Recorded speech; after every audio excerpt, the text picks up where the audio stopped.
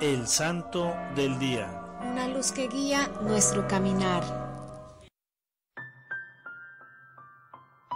Hoy 28 de marzo la iglesia conmemora a San Sisto III, Papa. Nacido en el seno de la familia Colonna, pronto se convertiría en un miembro influyente en el entorno de los papas Sósimo, Bonifacio I y Celestino I, a pesar de que en su juventud se sintiera atraído por las doctrinas pelagianistas, aunque parece ser que volvió a la ortodoxia gracias a su correspondencia con San Agustín. Sisto era uno de los principales miembros del clero de Roma. En el año 432 sucedió a San Celestino I en el pontificado. San Próspero de Aquitania escribió con esa ocasión, confiamos en la protección del Señor y esperamos que por manos de Sisto continuara derramando su gracia, como lo hizo por la mano de Inocencio, de Sósimo, de Bonifacio y de Celestino. Como estos guardaron la grey contra los lobos que la atacaban abiertamente, así esperamos que lo haga Sisto contra los lobos ocultos. Esta última frase era una alusión al semipelagianismo. San Próspero no vio fallidas sus esperanzas, sin embargo, como San Sisto era pacífico por temperamento y prefirió una política conciliatoria, algunos de los ortodoxos extremistas llegaron hasta acusarle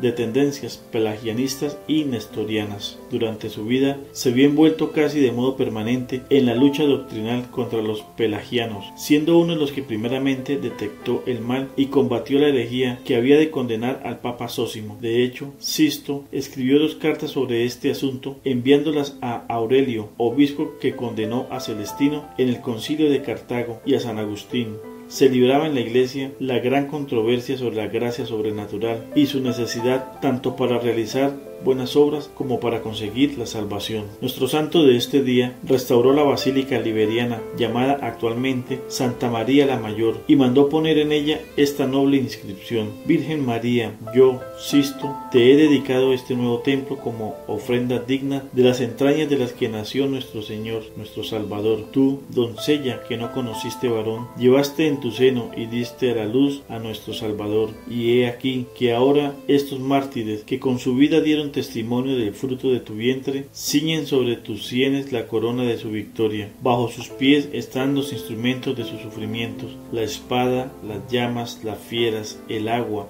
los crueles venenos. Los instrumentos son diversos, pero la corona es única. Sobre el arco del ábside puede leerse todavía la siguiente inscripción.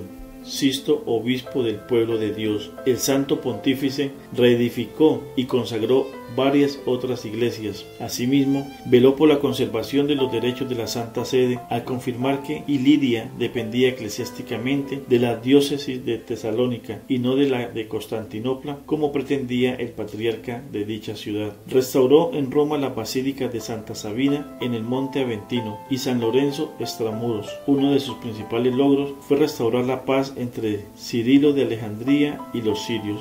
Falleció el día 18 de agosto del año 440, siendo enterrado en San Lorenzo Estramuros. Fue canonizado antes de la creación de la Congregación para la Causa de los Santos, por lo que su culto fue aprobado por un obispo, como consecuencia de la devoción popular. En este día, la Iglesia también hace memoria de San Doroteo de Gaza, San Cirilo de Heliópolis, diácono y mártir, Beato Antonio de Monticiano, presbítero.